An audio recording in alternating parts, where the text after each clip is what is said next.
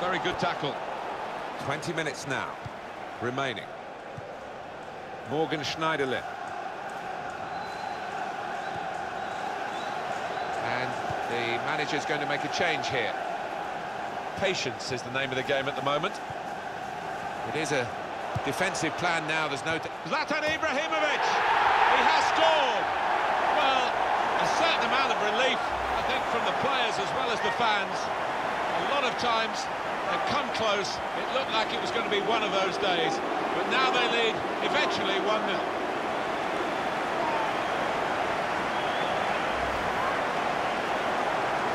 I think it was a game that deserved a goal, now we've got it.